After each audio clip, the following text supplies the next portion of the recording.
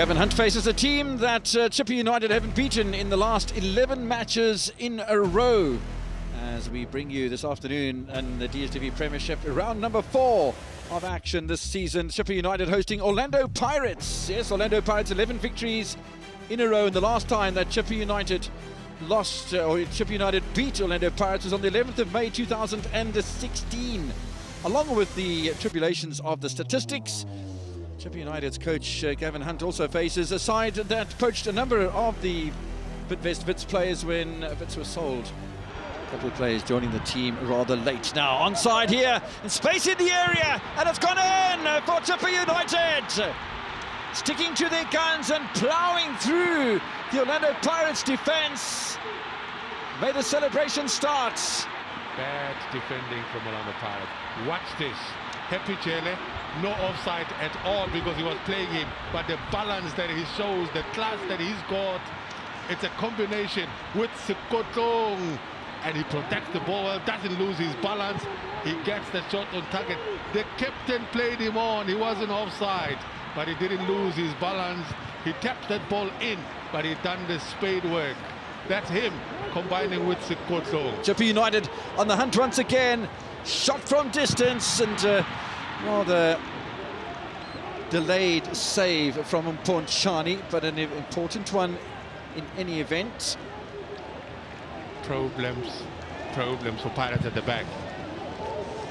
Yes, it's a good save in the end by Mpontshane. and Nkavela, another little delightful pass through the middle and took his eyes off the ball, Tshegofatso. They've got it back here with uh, Dlamini. Oh, tremendous ball. Pule now on the other side of the park and saved by Sandile Mthethwa. Now they are responding. Now the posture is getting better and better. And this man is instrumental in that. Mosele equally is contributing. And when he does that, you can tell that he is gaining confidence. Pule. Dlamini. Still a little bit of space in the middle of that area. Pule. Or turn from Mabasa! The equaliser comes 15 minutes after Chippa United went in front.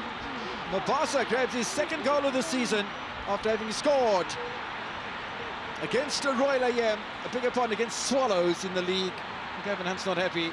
Pirates certainly are.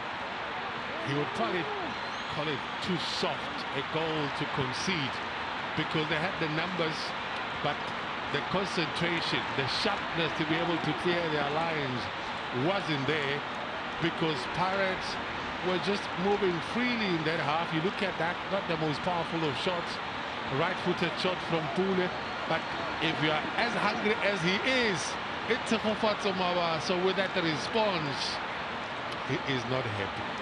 And you can understand why. Now a chance for Dzvukamanja. He's really been involved since he came on. But look at Bandile Shandu! Mabasa will score a second, and Pirates are in front. As easy as you like, Mabasa. It's Mabasa, in fact, he followed through from the initial pass. And this is how it happens. They lose possession, and it is Pule. And he combines very well with a good pass there. Look at who gets into that area. And look at who gets into another good area. It's a great team goal. Everyone getting involved. Shandu getting involved and setting it up in the end. A thing of beauty. It's There's Dzvukamanja once again. Oh, lovely ball through the middle. Mosele! Surely that seals the deal for Pirates. The second goal of the season after scoring against Stellenbosch FC. And the 21-year-old former Baroka junior international does the business for Orlando Pirates today and scores the highest amount of goals for Pirates this season. Smile, celebrate, because the two goals that they've scored at such beauty, when you give up possession in those sort of areas, they have been punishing those sort of mistakes. It's Dzvukamanja. Look at the pass, the finish as well, the timing of that pass, the weight to the pass, identifying the space, the decision making, the technique on the side. Yeah, Resuro, someone new, new. Good to celebrate. Two wonderful team goals that Pirates have scored. Now, Chippa United are chasing a result. At least chasing to stay away from sort of any embarrassment. Deon Hotto, space for Pule, and somehow they got away with it. And uh, Mabaso can't convert either, but uh, ooh, Pirates are on fire. I like it when you say, ooh, they are. Ooh, they are. Yes, they are. You're right, Kevin. Played onto the blind side, setting a bullet this time around. And they have the ammunition. Good header, wonderful goalkeeping as well by Watenga. Good performance from Orlando Pirates. Goals from Mabasa, Mabaso and Mosele. Mahlambi with the early goal for Chippa United. But the points and the credit all go to Orlando Pirates, who win by three goals to one. Coach Kevin, appreciate your time. Thoughts, please. Um, yeah, um, scoreline leads three-one, but I mean, not but unfair. I think I think we had the best chances. We could have been three-one up ourselves.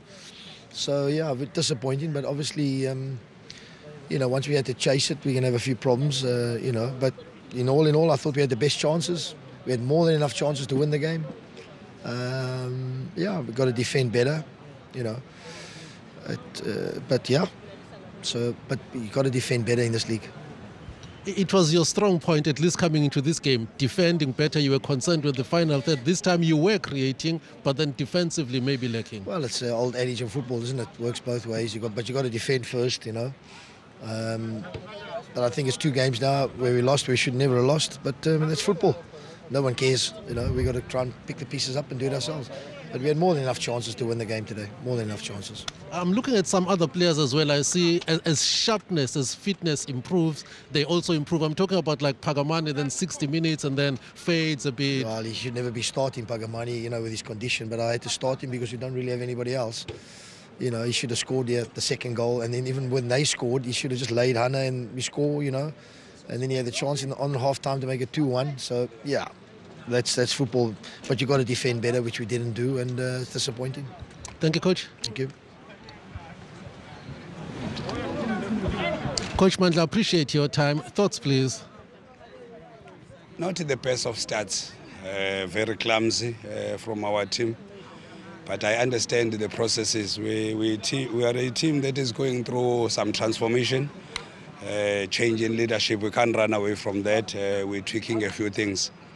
Uh, but at the same time, we were struggling with scoring goals. Uh, for a team that considered that early in a match, to come back and score three goals, we could have scored further. Uh, I'm just happy for the effort from the team, the fighting spirit, the teamwork. Uh, though the game was not uh, pleasing in the eye, but it's only the early stages of the season, maybe fifth, fourth game. Uh, you don't expect the team to gel that quickly, especially in our case where the leadership has changed and maybe we're also trying to implement a few things. But the effort from the team, I can't falter that. Performance, not too pleasing. Defensively, let's try and see what we could have done differently in defending that which was uh, Chippa's first goal. We knew how Gavin set up. Uh, we knew he was going to play on a counter. Even the formation of playing Mahlambi and Sekotlong, speedy players, and he was placing them wide uh, in between our centre backs and the fullbacks. And he wanted to go on the break. I thought we just failed to do a simple defensive uh, tactic, and we've worked uh, for quite some time on a rest defense of our team. Uh, but we were caught in the same place. Uh, we can do better in that regard. But the, the fighting back, uh, we didn't drop our heads. We kept on pushing. Uh, I'm just happy that at least there's progress and we know what is our, our, our deficiencies that we have to work on. I've talked to Ntutu already about the way his goal came about, the, the, the, the Pirates goal uh, that came from winning possession until scoring. But I want to talk to you about Ugutman Mosele then, because he's also one of those midfielders who makes entry into the box and f- scores. Our number sixes or number six and number eight have got a very critical role to play, especially when you play against a team that wants to play on a counter. They're very key in our rest defense. But again, if the team builds from the back or we counter press, one of them has to jump and join the attack. And they do that very well. They complement each other very well. And for Mosele, somebody who just came from another club, he's getting there. Uh, I just want us to improve a bit of possession, a bit of uh, uh, Pirates uh, imposing their game. I don't think we did that part well today, but it's work in progress. I'm just appreciating that we got the three points with all the performance that